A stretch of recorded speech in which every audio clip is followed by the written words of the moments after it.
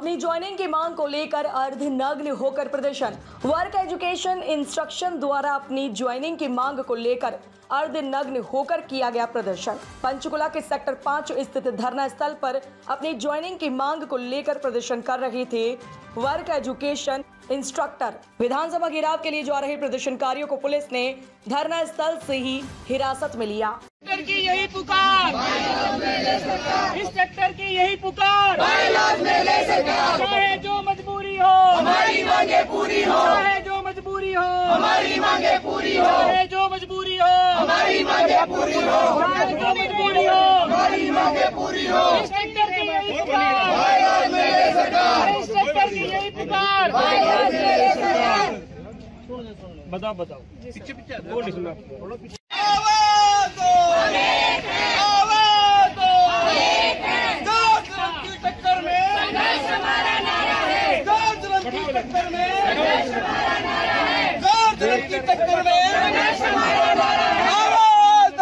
किया जा रहा था उसके बारे में बताएँ। मेरा नाम रजत भट्ट है। मैं वर्क एजुकेशन सेक्टर प्रेसिडेंट हूँ। जैसा कि आज हम लोग शिक्षा सदन की कूच के लिए जा रहे थे कि पहले शिक्षा सदन में हमारी एस पी डी साहब या एसीएस से बात हो और अगर हमको कूच का निष्कर्ष नहीं निकलता तो हम आगे के लिए बढ़ते। लेकिन उससे पहले ही जैसे हम यहाँ से शांतिपूर्वक तरीके से जाने लगे तो पुलिस प्रशासन ने हमारे साथ धक्का मुक्की करी और हमें ज़बरदस्ती इस पुलिस वाली वैन में बिठा कर हमें एक ऐसी जगह से ले जाया गया जहाँ हमें वो रास्ता भी नहीं पता था। लगभग आप लगा लीजिए सौ किलोमीटर के उपरांत यमुनानगर हमें बाद में दिखा कि यमुनानगर का रास्ता है। और वहाँ पर जाते जाते हमारे एक महिला साथी की तबीयत खराब हो गई। हमने कॉल भी किए कि हमारी महिला साथी की तबीयत खराब है, कृपया करके भाई इनका कोई समाधान करें। लेकिन हमें बार बार बोला बोला गया कि कोई नहीं, बीच में कोई हॉस्पिटल आ जाएगा तो हम वहाँ पर मतलब उनको उतार देंगे। जैसे इनको उतारा तो ये लोग हमको छोड़ के जाने लगे। इन्होंने कहा, आप अपना देख लीजिए, हमको आगे यमुनानगर जाना। फिर क्या हुआ, कोई एक साथी था सोशल मीडिया का दीपांशु जी थे, वो आए तो किसी प्रकार थोड़ी बहुत बातचीत हुई तो फिर उस कारण से हमको वापस लेके आए, वरना इनकी पूरी तैयारी थी कि हमको रास्ते में कहीं भी छोड़कर चले जाते।